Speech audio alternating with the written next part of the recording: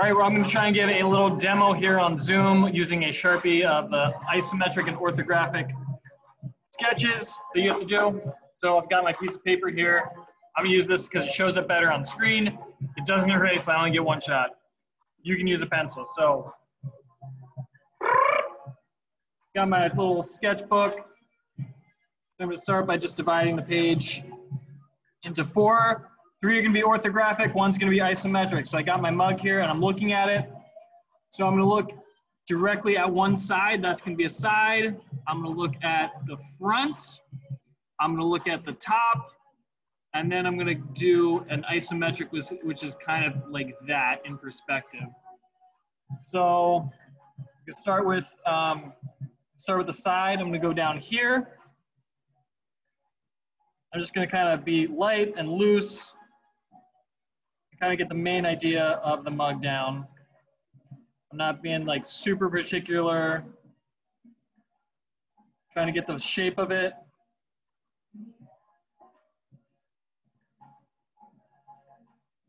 There's a little bump down here, so there's a little foot that I want to add, a little detail. I'm just kind of looking at what I see, make it like approximating it as best I can giving the idea of it so that if you have this sketch and you see the actual thing, you can probably recognize it.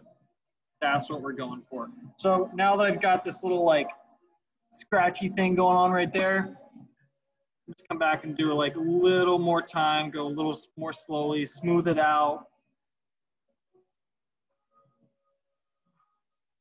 Try and narrow in on those lines.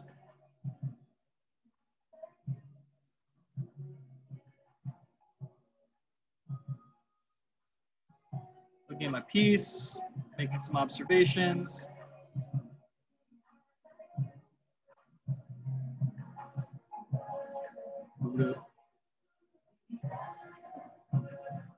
I also want to give like this uh, appearance that there's a tree.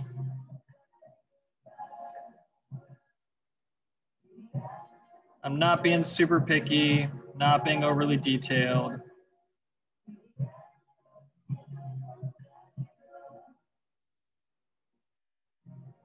I got my jams, I got the focus.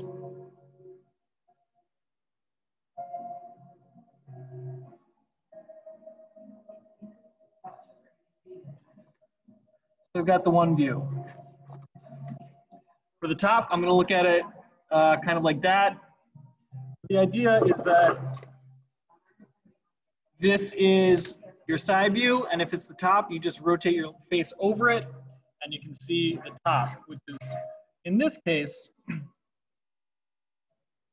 we're also to do this. So like you can draw lines so that the dimensions and proportions are the same. These are guidelines that will help me make the same size drawing up here. So I know that this is where the lip is, or the uh, opening is between these two. Now I'm doing this super quick and rough.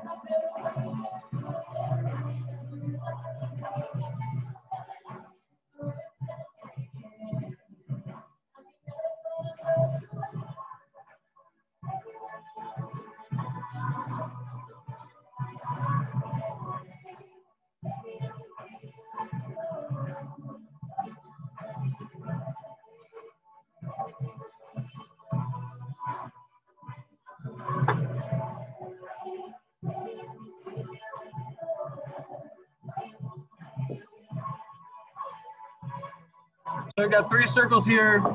This one is the totally inside. It's like, it's inside right there. And then this, this circle here is the rim here. And this is the base from my perspective, uh, this area, so the outside. If, if you can see that, I hope so. I'm just gonna do a little, little shading to distinguish. And now I'm gonna do the, that view, the front, or I guess, I guess it's like that. Same thing, I'm gonna draw lines across. You are absolutely welcome to use a ruler. That's totally fine. And I'm gonna look at the front, which is that. That's that nice same curve. But, uh, but this image should help in- inform that image. This image should help inform that image. So they're all connected.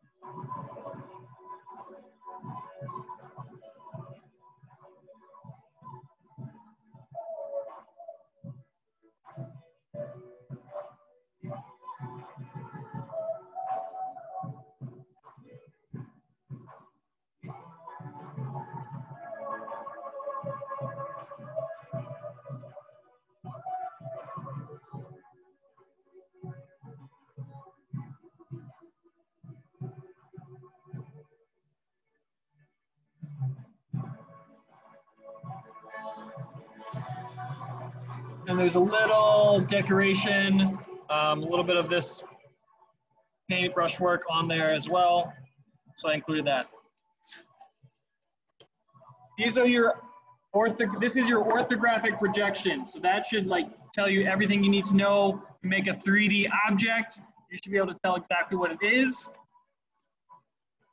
This one is gonna be the isometric one, and that's where you're gonna look at it rather than like that view, you're gonna do that view. So you get essentially equal portions of all three at the same time.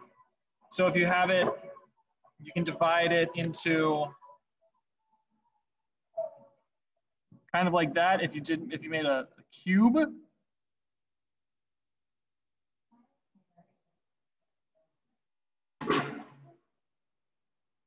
do the cube, you have equal por portions of all, equal portions of all sides of the cube.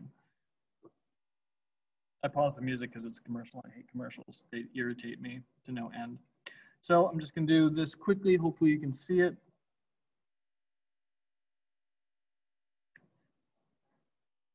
This one, you do not need to use the lines as guides because it's a whole new thing. And rule number two says, do your best. It's not a drawing class, but you are sketching to get the, you know, the feeling of the mug, of the teapot, of the seagull, whatever it is that you are drawing.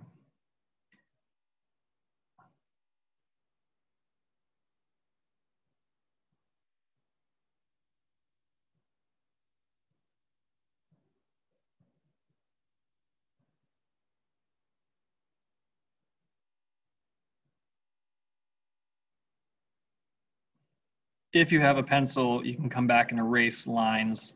Um, or I'll reiterate that I'm doing it in Sharpie because it shows up better on camera. So it's a little easier for you to see as I do it.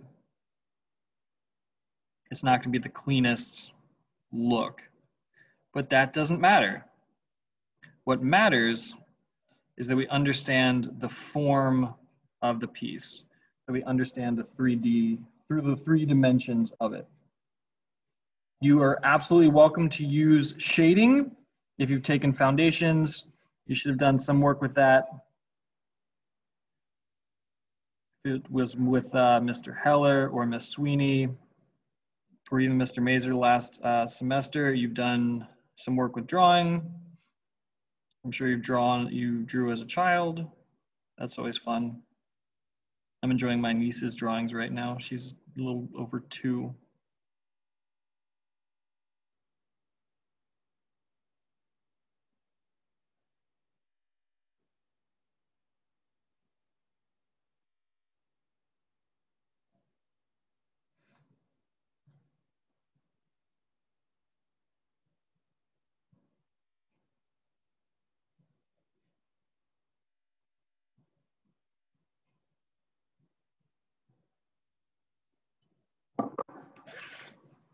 And there is the finished product.